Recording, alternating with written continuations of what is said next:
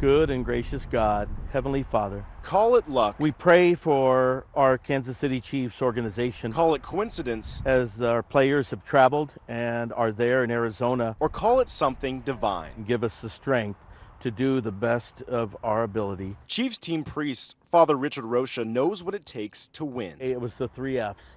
You know, faith was first and foremost, and then family, and then football. A spiritual anchor, Rocha has been with the team for seven years, helping players through the highs and lows of the game. You know, just being there uh, for the encouragement.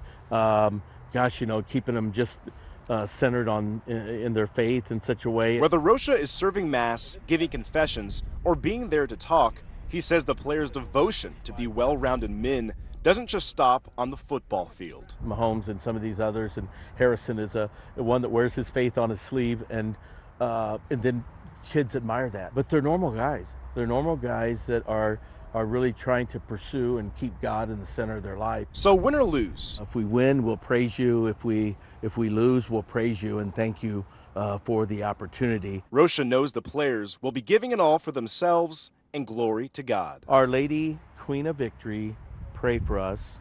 Live Jesus in our hearts forever. In the name of the Father and of the Son and of the Holy Spirit, amen. Let's get after him.